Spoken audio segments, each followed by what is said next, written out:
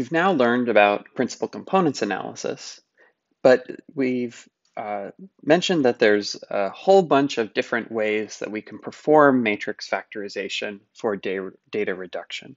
And just as a brief review, um, in matrix factorization, this process of data reduction, we're going to take a large data matrix and we'll factor it into two smaller matrices, one of which, W, is going to broadly explain the features of our data set, so the variables. And the other, H, is broadly going to describe the samples and how those are related to each other. So roughly what these are going to do is separate out variable to variable effects and sample to sample effects. And we saw that with principal components analysis. Also, the benefits of data reduction are manyfold. It, for one, just compresses down our data, but it also makes it easier to visualize. If we do it in the right way, we can actually remove noise from our data and make it easier to see patterns. And it's potentially easier to interpret. And then finally, we can uh, uh, combine these methods with really any other sort of method that we want to use afterwards, because this is supposed to um, preserve to the greatest extent possible our original data. So I think it's really helpful, even though principal components analysis is by far the most commonly used data reduction method, I think it's really helpful for us to see another form of data reduction to keep in mind that there's a many different ways that we can do this. And depending on the problem that we're interested in solving, um, we might make different decisions about how we do this data reduction. Because again, we're trying to find a data reduction method that matches the kinds of patterns that we see in the data. So in this module, we're going to talk about a slightly different form called non-negative matrix factorization. You can probably guess uh, how this works from the name. So instead of uh, using orthogonal uh, components like we did in principal components analysis, what we're going to say is that um, all of our input data has to be non-negative, but then each of our matrices is only going to have non-negative values. So they can have some positive value or it can be zero. And this is going to have two really nice properties. One is potentially it's going to make it easier for us to see patterns. Um, and then another is going to be that it actually probably will lead to a lot of zeros in our factored matrices. And this is going to work the same way as we saw with lasso. So in lasso, we um, use this regularization, and one of the benefits I mentioned is that most of your beta coefficients end up as zero. And the nice thing about that is when we go and we look at our model, the things that are zero, they're exactly zero, and based on that, we can say, okay, those values have absolutely no effect. So it makes it really easy to focus on what actually matters. If we end up creating a factored form that's mostly zeros, what it means is it can point us directly to what are the parts of the components that we end up with that really matter. And the reason we end up with mostly zeros here is because just like when we ran lasso, one of the things I mentioned with lasso is if you have your beta coefficients, one of the issues is you might have a really big weighting on beta 1 that increases the value of your output a lot. And then you might have a really large uh, negative coefficient on beta 2 that decreases your output a lot. And the combination of these is exactly the same. You know, they cancel each other out. So the combination of these is much like having just a small weight on beta 1. So if we force everything to be only positive, what it means is if we have our W and H matrix, and it's giving rise to this X data, that it's not as though we can make all our values in W or in component one really large, and then all of our values in component two really negative, and then they would cancel each other out. Because we can only make things positive. Things are only going to add together. And so if a particular uh, component doesn't matter for uh, a value that we have in X, then we're not going to pay the cost of um, putting some value in um, when we add this together. So, you know, um, in a, a normal form, we might have two components. One that is like 3 times 1 plus, let's say 8 times 1 minus 4 times 1. And this gets us to the right answer because the two values cancel out. But in a non-negative form, we can only have positive numbers. And so if we have a first component that contributes 4, then really the only thing we can have is 0 in the next component for us to reconstruct the value. So this is the effect that ends up forcing most of the values to be 0. So because the way we're defining success for non-negative matrix factorization is different, the way that we do the solving is going to be pretty different. So we talked about two different ways to do principal components solving. In non-negative matrix factorization, in fact, there are also many ways that we can solve for the answer here.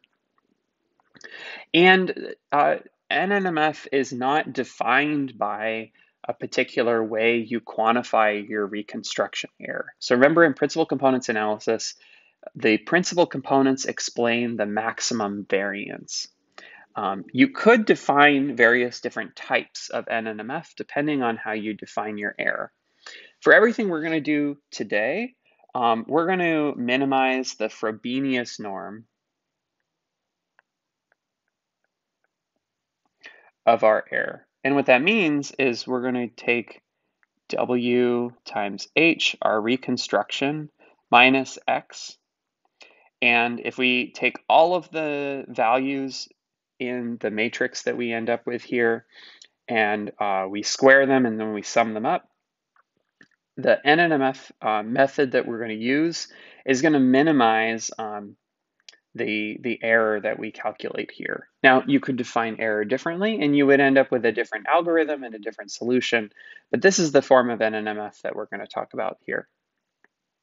So if we're minimizing the Frobenius norm, the method that we're going to talk about here is called the multiplicative update method.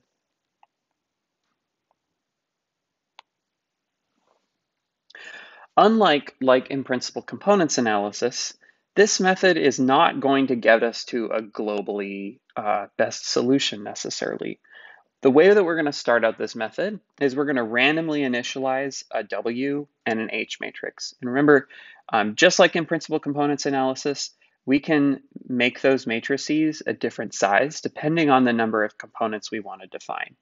So we'll uh, set W equal to some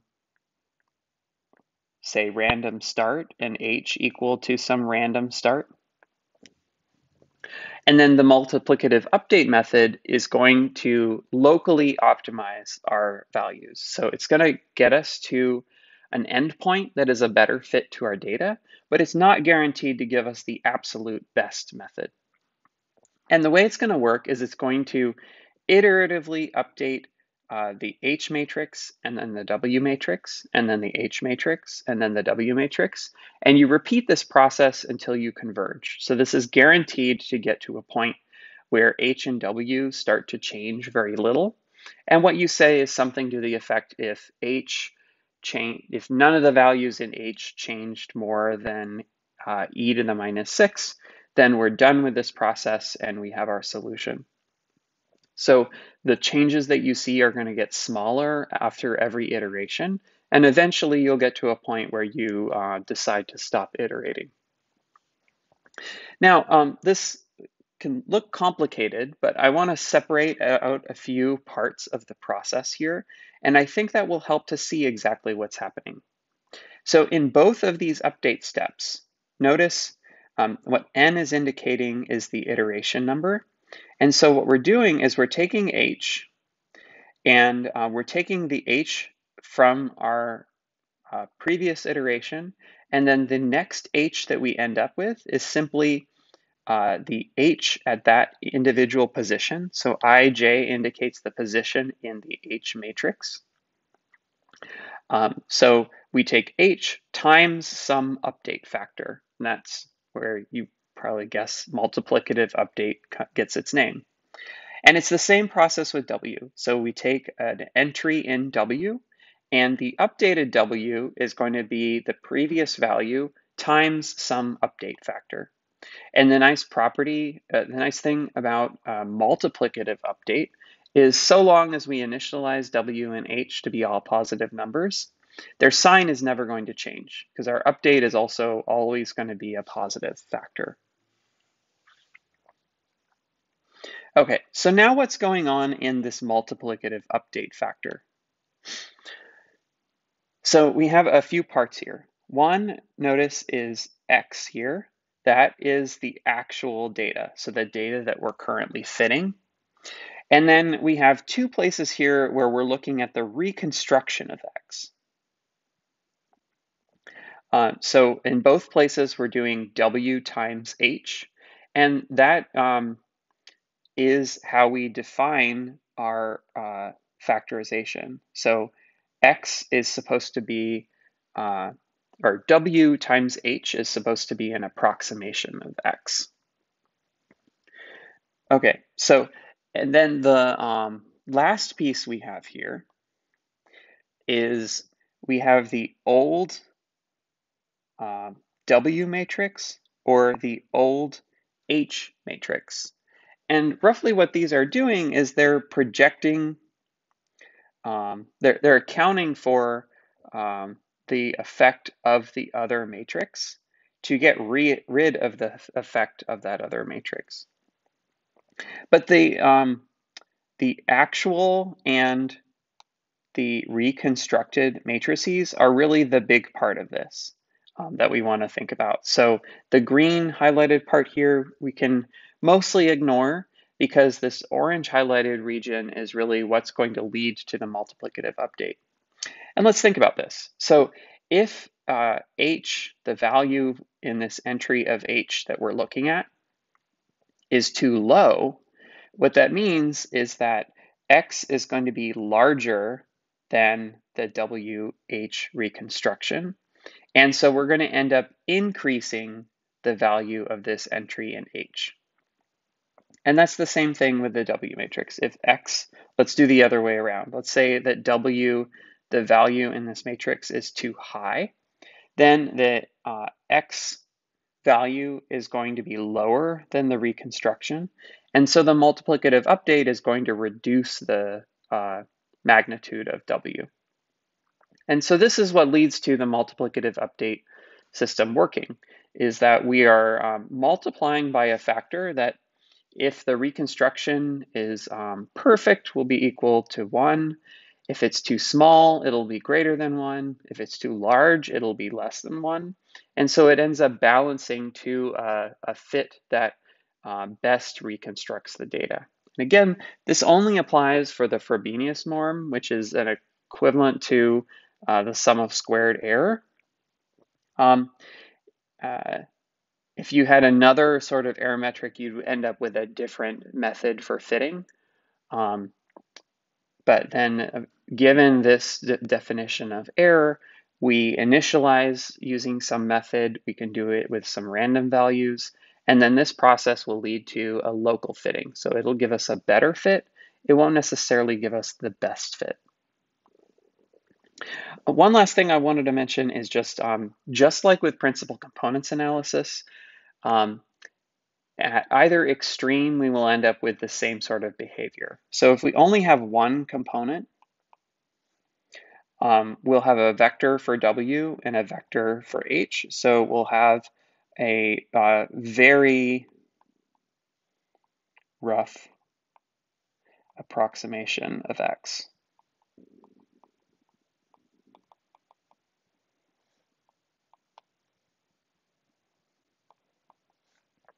But so long as the values of x are positive, we can end up with a reconstruction that is perfect.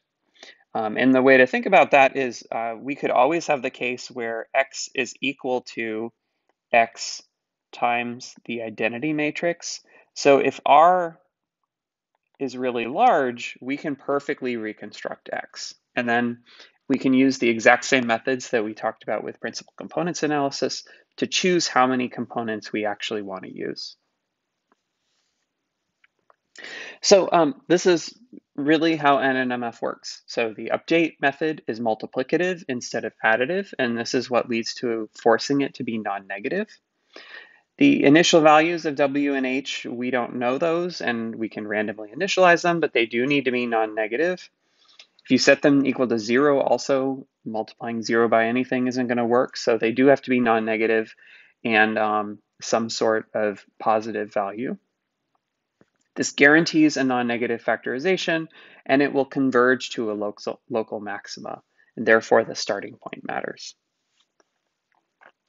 Now again, the way you define this problem is always going to affect the solution you get. So in NNMF, the error metric that you use, how you define whether your reconstruction is good or not is going to matter a lot.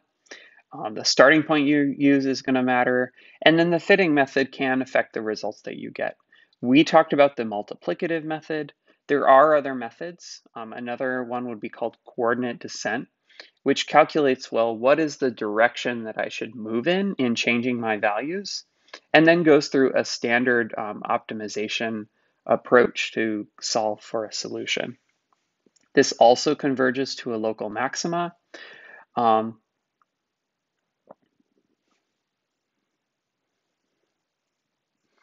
but depending on your problem may be a, better way of solving. Okay, so NNMF especially, I think, benefits from seeing an application where um, this is valuable because NNMF, because it's all not positive values, it works particularly well for processes that are additive, meaning that the value of something always increases. Um, it's not decreased ever. Um, and it, it can almost feel like magic when it works. And so I think it's helpful to see an example of this. And this is just a really beautiful example of using non-negative matrix factorization.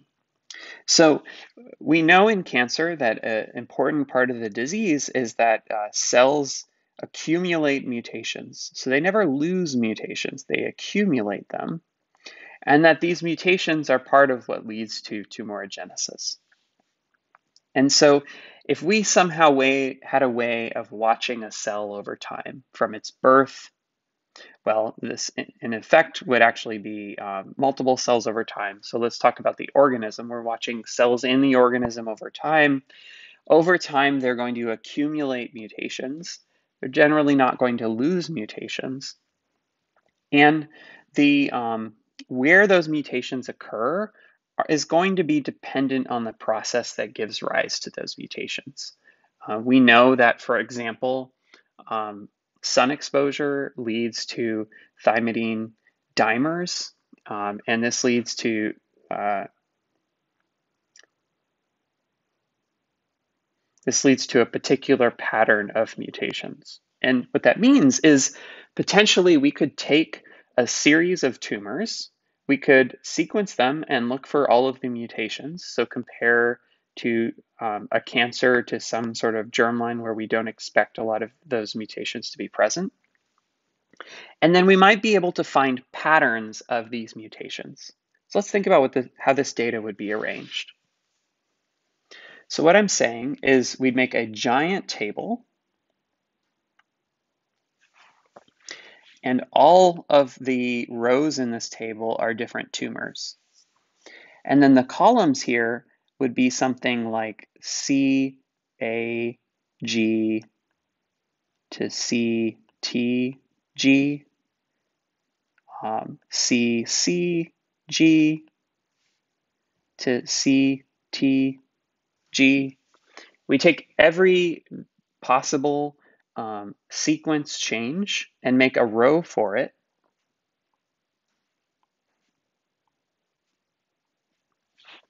And then if it's present, maybe we put a one there. If it's not present, we put a zero. Or we can also, um, because these may be present at variable lever levels, we'll have um, individual values here. So we could have that a tumor has 50% of a mutation. And by factoring this, what we hope to get is a matrix that broadly explains the patterns across the tumors, and then another matrix that broadly explains how these mutational signatures are related to each other. So um, potentially there are processes that lead to certain kinds of sequence changes and not other kinds of sequence changes.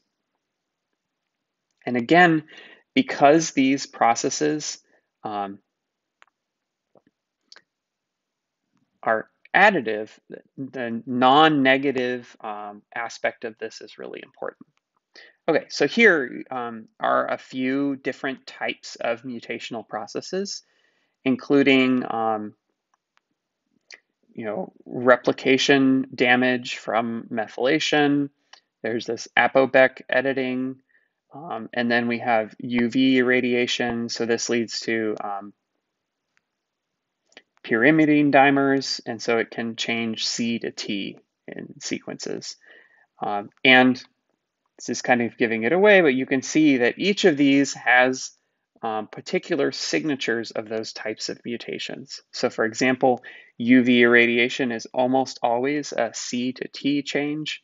And then actually it happens within particular types of sequence context. So what's amazing about this is that you can take that big matrix of just individual tumors. We, we don't tell the data anything about, you know, um, how the the form of this data that um, where it came from. It's just a big table of numbers, and then it separates it into these signatures. Um, so we get signatures that are very distinct, and then correspondingly there will be another uh, matrix that describes the abundance of each of these signatures in a particular tumor. And so you could, for example, look at um, how common a particular signature is in melanomas, say, versus a lung cancer. And this is digging into it a bit more. In this study, they actually break this down a lot in the, the details of the type of mutational signatures that occur.